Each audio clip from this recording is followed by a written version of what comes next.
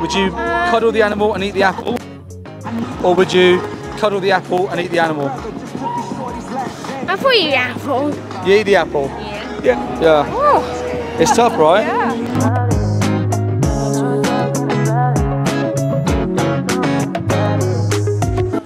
It's sad, isn't it, right?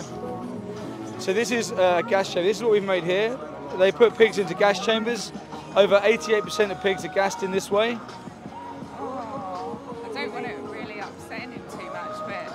Are you- what happened. Are you guys vegan?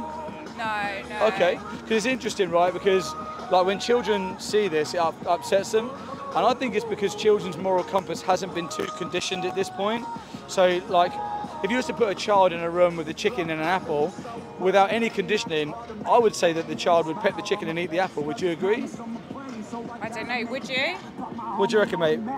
Would you cuddle the animal and eat the apple, or would you cuddle the apple and eat the animal? Thought you apple. You eat the apple. Yeah. Yeah, see, like people don't like their children seeing it, but they feed them children this like this exact industry and, and, and products from these industries. I think if we didn't condition the compassion out of children, we'd have a kinder world. What do you think? I think you raise a very good point. Yeah. What about yourself?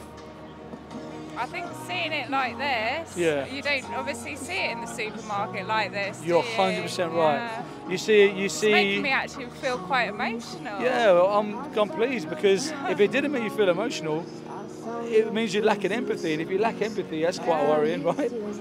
But the thing is, we are so conditioned that this doesn't happen, and we're conditioned for that end product. We pay for this, or you pay for this Yeah. Daily. How does it make you feel knowing that you contribute towards these industries? Very upsetting. And I, I think slightly disappointed in myself, really. Don't feel, well, look, like, we're not coming from a place of judgment because all of us have been stood where you are right now. But all of us here have seen this Yeah. and then make a change. Yeah. Have you ever heard of being vegan or no veganism? Um, I think it's something I will certainly go away and, you know, What's your thoughts on it? Like, what would stop you from being vegan? I think I've tried like substitutes in the past, and I, I guess it's the taste that Okay. sometimes isn't. You know, I think it's just maybe something that we should look into. Do you think that taste justifies what you're seeing on the screen? No, no. So that's CO2 gas that they're in there. It burns them from the inside out. When they come out, they're still conscious. You see, a, a pig can actually drown in boiling water after being gassed and stabbed in the throat. Do you know, like, when you think of the victim, do you think it's difficult to be vegan when you think of them? Um, I wouldn't willingly, I guess, want to now put an animal through that. No. Yeah, exactly.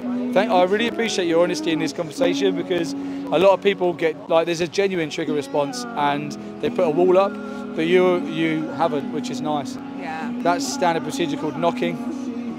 They cut their teeth out and they cut their tails off to stop them cannibalising each other. And just so you're aware, this is organic free range RSPCA standard practice of farming. Okay. Well, thank you. No, thank you. Take one of these, right? Because the hardest thing here, right, is when you think, I'm going to go away and think of it. Because the whole time you're thinking of it, we're still, you'll still be contributing towards this. We're raising awareness of pigs today, but of course, chickens, lambs, cows, dairy, all these animals, they go through the same procedures. And on that um, card, it will show you the way that the industries exploit all the other species as well. And the longer it takes us to go vegan, the more animals are going to be put into these horror hou- uh, horror like hell houses Yeah. and uh, and slaughtered for, for your taste pleasure, effectively. If you're It's against been it, eye-opening. So yeah. you. Do you know what? Like you'll never unsee it. And I saw footage, and that was it. I was vegan because you can never unsee it. Like you said, next time you go to the supermarket, you won't see a packet on a shelf. You'll see struggling animals in abattoirs and gas chambers. Yeah. Yeah, it's tough, right? yeah. Thank you for being honest. Have a good day. Oh, maybe she'll see the light. Maybe that'll be good. Yeah.